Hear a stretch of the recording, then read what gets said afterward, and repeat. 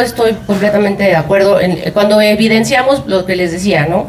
Finalmente, eh, los discursos campañeros de repente pueden generar eh, grandes anhelos, por eso yo les hablaba de la Lolandia, las mujeres estamos cansadas de que no nos vean, no nos escuchen, no nos miren y no hagan absolutamente nada por nosotros. Digo, aquí vemos muchísimas que nos conocemos y venimos hablando y alzando la voz desde hace ya muchísimo tiempo.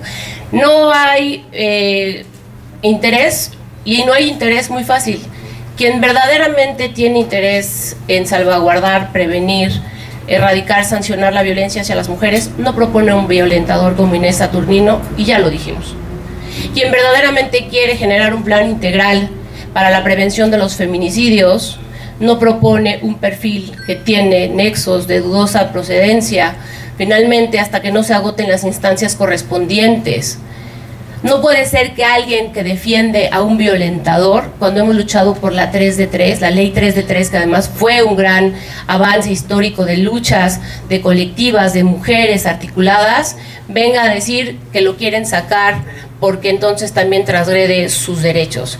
Es decir, creo que ahí en los hechos podemos demostrar justamente que no es un tema campañero el nuestro, pero sí del otro, del otro lado de la oposición. Y como bien lo dice Angie, o sea, en verdad hay un interés o solamente nos están utilizando, yo les, les podría decir que nuevamente nos están utilizando, porque a la derecha nunca le ha interesado el avance progresivo, paulatino, o sea, sostenido, eh, igualitario de las mujeres. Al contrario, ha habido retrocesos en materia de derechos humanos con el PAN cuando de mujeres se trata y de este espacio, desde este lado, la progresividad de los derechos humanos y de eh, las mujeres llevándolas a los espacios visibles es evidente. Nuestro propio candidato Alejandro Armenta ayer hacía eh, una mención que me parece muy importante. Los hechos se demuestran con resultados.